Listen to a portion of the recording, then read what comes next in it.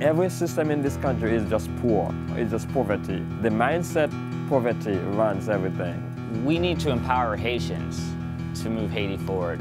Aaron Jackson helped start Planting Peace, which has provided deworming medicine to thousands of Haitian children. We were working in a slum called Cité Soleil.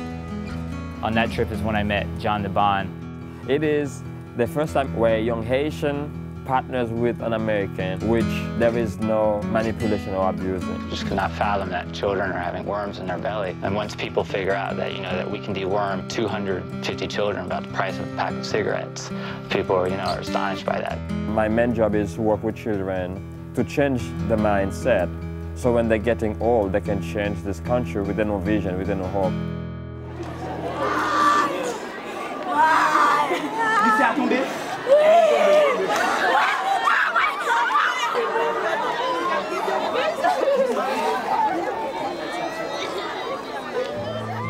is the worst case scenario. And it's very hard to describe.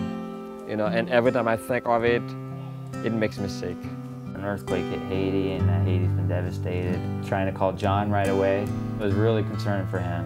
It was something that will never get out of Haiti's mind, of my mind, and of the people. It cannot be normal, but there is a way you can have a new normal. What do I do? What are the first steps?